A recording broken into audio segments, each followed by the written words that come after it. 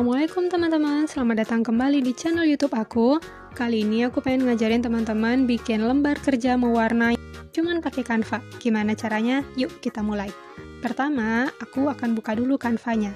Ini adalah tampilan dari Canva aku.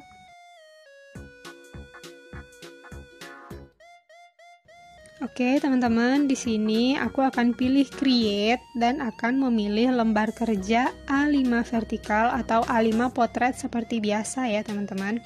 Aku suka banget nih pakai lembar kerja ukuran ini. Yang ini dan diklik aja ya, teman-teman.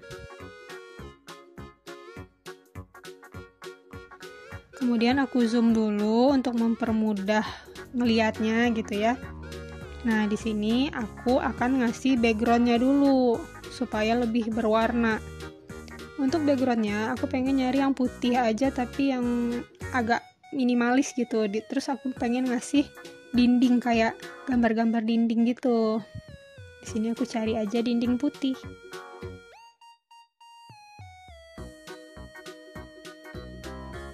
Terus aku pilih grafis. Dan nah ini ada nih teman-teman Oh iya, kalau teman-teman pengen scroll ke bawah juga bisa ya buat milih-milih gambar, tapi aku mau pakai yang ini aja.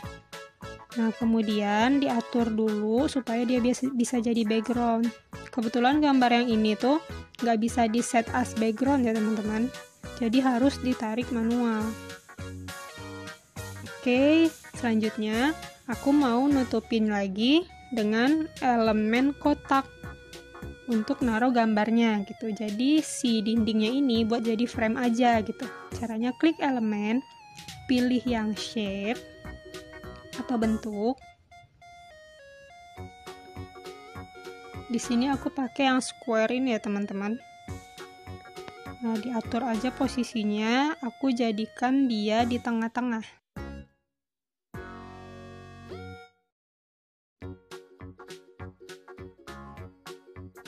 Oh iya teman-teman kalau misalnya video aku kecepatan komen ya biar besoknya aku bisa bikin lebih santai. Nah oke okay nih udah di tengah-tengah. Aku mau ganti warnanya jadi putih dan ngasih frame di pinggirannya. Nih caranya klik dulu. Terus yang garis-garis ini diklik nih teman-teman biar ada outline-nya. Klik. Nah pilih garis yang ini. Oke terus warnanya kita ganti jadi putih. Nah, jadinya kayak gini nih teman-teman. Jadi kan kalau dikasih gambar lebih jelas gitu kan. Di sini aku pengen bikin lembar kerja mewarnai hewan. Kita cari elemen dan aku pengen hewannya itu gajah aja ya, gajah. Kita pakai gajah.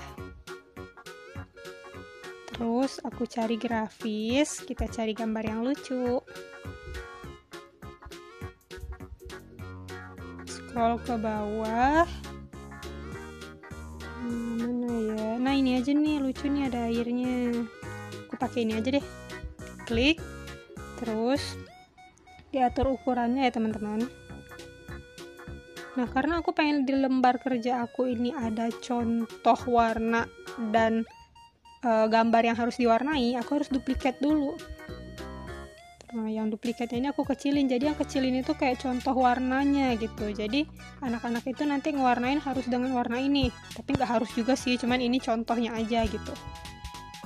Oke, nah terus yang besarnya ini kita akan hilangkan warnanya nih teman-teman. Jadi kita akan ninggalin outline atau garis luarnya aja. Gimana caranya? Klik gambarnya, terus pilih edit. Edit yang ini ya teman-teman. Terus pilih yang adjust ini Nah, scroll ke bawah. Kita eh, lagi kontrasnya. Oke, kita ubah brightness-nya tuh jadi 100. Tuh, kayak gini nih teman-teman. Udah, terus kita scroll lagi dia ke bawah. Nah, yang putihnya ini teman-teman, kita kasih lagi 100. Terus yang hitamnya kita kasih lagi 100. Digeser. Nah, eh kepencet lagi. Maaf ya teman-teman, suka kepencet emang. Oke. Nah, selanjutnya saturnasinya itu kita kurangin. Tapi ini e, terlalu putih ya, jadi nggak kelihatan pink-pink kupingnya. Geser dikit lah. Nah, jadinya gini nih teman-teman. Nggak begitu kelihatan ya, tapi ya udahlah gitu. Nah, jadinya kayak gini nih teman-teman. Jadi nanti anak-anaknya akan mewarnain yang di bawah, sedangkan gambar kecil di atasnya itu bisa jadi contoh atau pedoman mereka dalam mewarnai. Nah, gimana? Oke, selanjutnya ini kita hias dulu ya sebelum kita tambah. Aku di sini mau ngasih rumput outline dulu nih.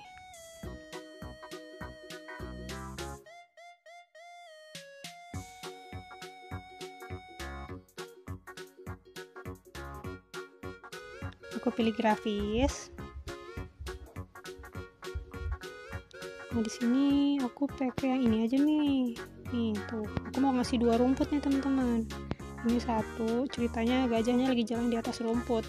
Terus rumputnya ini karena aku pengen ada dua jadi aku harus duplikat tuh. Nah agar rumputnya ini terlihat nyambung teman-teman. Kalau ini kan kayak nggak nyambung ya. Jadi aku mau balik. Cara baliknya adalah klik gambarnya pilih flip atau balik nih yang tulisan flip atau balik pilih yang balik horizontal atau flip horizontal. Nah jadinya ketemu gini nih teman-teman ujung rumputnya. Kalau aku lebih suka gini tapi teman-teman terserah aja selanjutnya aku mau kasih awan nih teman-teman. Biar langitnya cerah lah ya yaitu ada ada gambar lain. Nggak polos-polos amat. Sini aku pilih grafis dan aku akan cari awan yang cocok. Klik aja grafis. Di sini hmm, aku pakai ini aja deh. Ini aja nih klik. Oke awannya juga aku bikin dua ya teman-teman. Ini baru satu terus tekan lagi duplicate ingat ya teman-teman duplicate itu yang tanda tambah kecil nih. Klik. Nah. Nah kalau kayak gini kan jadinya bagus nih teman-teman. Nggak polos amat tuh gajahnya nggak kesepian kan? Gimana gimana? Udah bisa belum? Kita bikin lagi ya satu lagi ya nih teman-teman. Satu lagi aku contohin oke? Okay? caranya kita duplikat aja nih yang halaman ini dengan klik tanda duplikat yang kecil ini. Tuh nah jadi deh di halaman kedua kita hapus dulu gajahnya. Aku pengen bikin harimau nih teman-teman. Cari elemen. Klik aja langsung harimau. Bentar ya teman-teman. Oh iya teman-teman udah subscribe belum? Subscribe dulu ya. Oke pilih grafis dan ini. Hmm, kita cari ke bawah dulu ya kalau bisa teman-teman cari gambar itu yang outline-nya tegas ya teman-teman. Nah kayak gini nih. Ini bisa nih. Aku pakai ini aja. Ini lucu banget. Oke. Seperti biasa atau seperti sebelumnya kita juga duplikat nih gambarnya. Kita duplikat. Tuh kita kecilin. Nah ini untuk contoh gambarnya. Selesai. Kita tutup dulu ini ya biar nggak ganggu. Oke selanjutnya klik gambarnya dan pilih apa nih teman-teman? Edit betul. Terus pilih adjust betul. Terus kita atur aja deh kecerahannya. Tuh diganti jadi 100 terus kita ganti lagi putihnya geser lagi 100 hitamnya kita geser lagi jadi 100 Nah, tapi kalau nggak 100 juga nggak apa-apa sih teman-teman. Kalau menurut teman-teman udah cerah. Terus saturnasinya juga kita kurangin. Dah ada jadi nih teman-teman, gampang banget kan cara bikinnya itu sebenarnya. Jadi ini tuh bisa teman-teman print aja di rumah gitu kan buat anak-anak atau anak sekolah, murid-murid teman-teman gitu kan. Atau mau dijual juga bisa. Sekarang aku pengen ngasih tambahan sedikit nih yaitu ngasih namanya. Kita kasih nama ya ini hewannya biar nggak ketukar sama kucing nanti takutnya. Kita kasih teks harimau gitu.